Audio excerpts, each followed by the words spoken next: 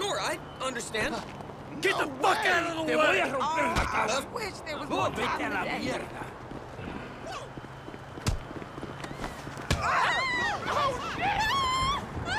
¡Cabrón! Oh. We fucking got him! Oh, I feel sick.